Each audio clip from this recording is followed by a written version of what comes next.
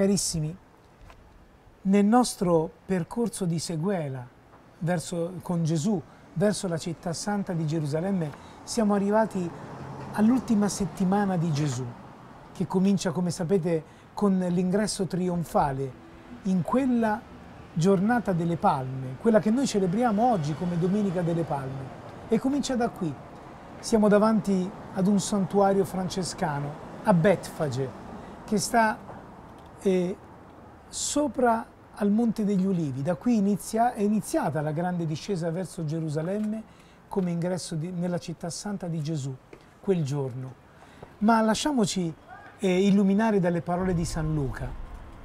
Dette, dette queste cose Gesù camminava davanti a tutti, salendo verso Gerusalemme. Quando fu vicino a Betfage e a Betania, presso il monte detto degli Ulivi, inviò due discepoli, dicendo andate nel villaggio di fronte. Entrando troverete un puledro legato, sul quale ne non è mai salito nessuno. Slegatelo e conducetelo qui. Lo condussero allora da Gesù e gettati i loro mantelli sul puledro, vi, fece salire, vi fecero salire Gesù.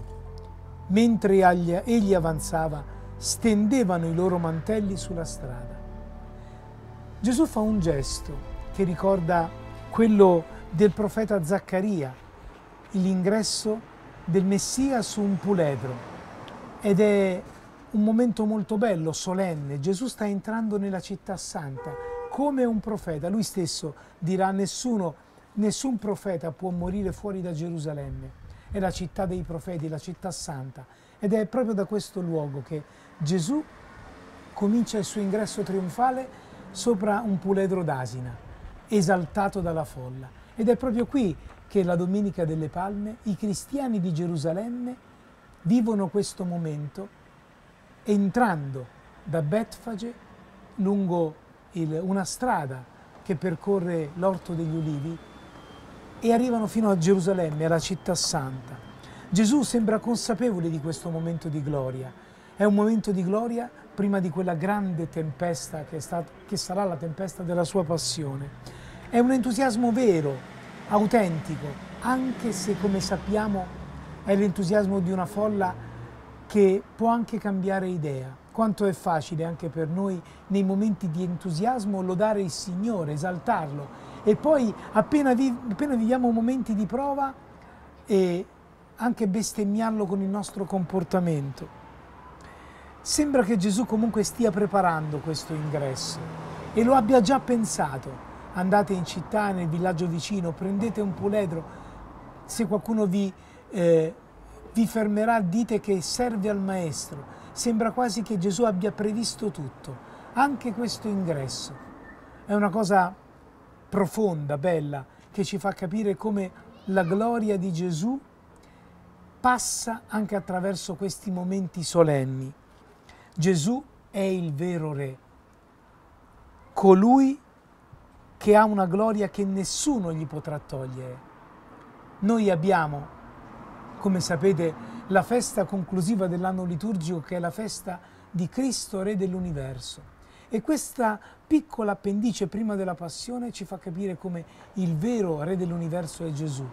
Ed è il profeta che entra su un puledro d'asina, è un ingresso trionfale e slegatelo e conducetelo qui, dice Gesù ai suoi discepoli. Lui vuole coinvolgere i suoi discepoli in questo ingresso trionfale. Gli vengono messi i mantelli sopra, quasi ad indicare la solennità liturgica di questo ingresso nella città santa. Proprio di fronte a noi, sulle mura della città santa, c'è una porta, la porta d'oro è lì che alla fine dei tempi rientrerà il Messia trionfale. È da lì che dopo di lui tutti i morti risorti entreranno. Questo ingresso trionfale riprende proprio quel momento finale che aspettiamo. Noi viviamo un periodo che è il momento dal Gesù già venuto al Gesù che verrà alla fine dei tempi. E quell'ingresso trionfale nella città santa che tutti aspettano del Messia nel suo secondo ritorno è l'immagine di ciò che Gesù ha vissuto quella domenica delle palme. Continuiamo a seguirlo Gesù con l'entusiasmo di quella folla, sapendo però che non possiamo smettere di seguirlo quando quella gloria si trasformerà nella gloria della croce.